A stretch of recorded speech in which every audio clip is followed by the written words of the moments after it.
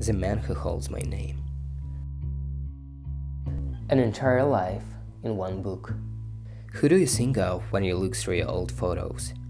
What happens when you discover old letters? Do you remember all those people who were once your friends?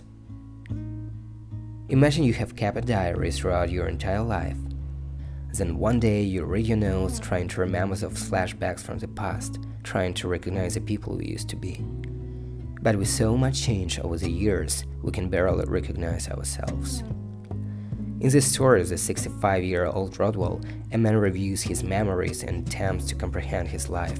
He's kind of spying on himself and sometimes doubts or even denies what happened so long ago.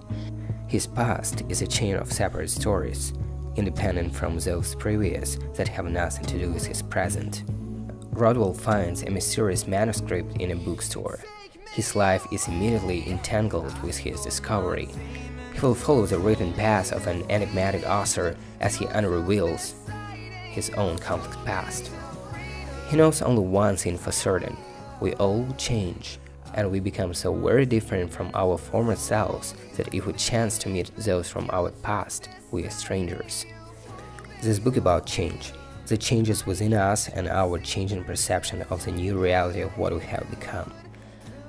The book is like a photo shoot when you capture the fleeting moment and look back trying to reconsider your past. This book is a therapy of self recognition. But you never know where it may lead.